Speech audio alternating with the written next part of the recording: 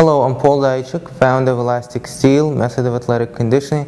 Today I'm going to expand on the video that I did about a week ago and in that video we talked about adductors and abductors, how they're related in terms of injury and pain. Today I'm going to talk about the adductors which is the muscles right here, the inner side, mostly some more forward, some more back and how they're related to the low back. Some of those questions have been coming up and I said I'm going to make a video about it. Now, the abduction is about 45 to 50 degrees. 48 degrees, some people can do about 35 degrees, and I'm talking about healthy movement. You don't have an inflammation there that's severely restricting, and you don't have the stretch joint capsule where you can go more. The normal range of motion, which is about 45, 48 degrees, about here. This is what it is. And I did that without moving my pelvis. If I move my pelvis, that means that I'm getting the stretch from this leg, from adductors on this side, from hamstring on that side.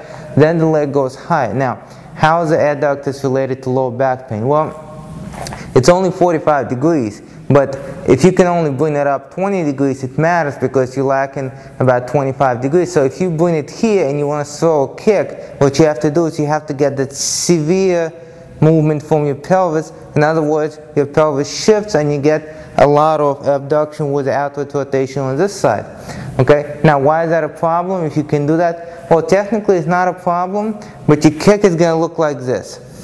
And if your kick looks like that, and trying to keep your body up, the only way you can keep your body up is by flexing and rotating your spine, usually your lower back, and most of that happens in your lower back for a lot of people. We can do stuff with our middle back, but most people try to go with the lower back.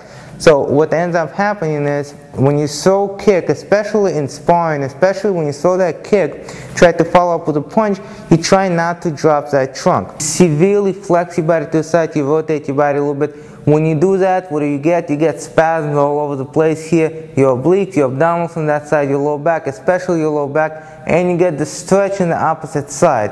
Okay? Now, if you don't do it and you kick like this and your body hangs this way, if you're not ready for it, if you're not trained for it, your body is hanging here, you're not used to this position, you still might get an injury. The leg doesn't abduct completely, pelvis compensates, the body goes over to the side. We try to flex as much as possible. Now, if you don't have that flexibility to flex that much, some people do. However, keep in mind, somebody doesn't have the flexibility in their adductors. What are the chances they're going to have good flexibility in their lateral flexors?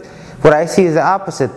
Good flexibility here, poor flexibility in lateral flexors. It usually does not happen that somebody has good lateral flexibility and at the same time they cannot abduct their leg completely. Usually it's the other way around. Okay? But someone can the leg, chances are they're not going to be able to flex. So when they do flex, to pull the body in that direction against the resistance of the other side, that's cramps.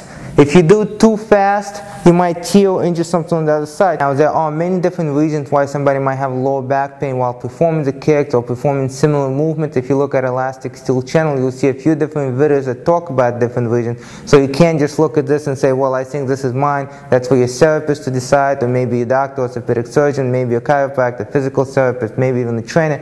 It's for them to decide what the problem is. However, it's one of the possible reasons. I'm Paul Zaichik. Thank you.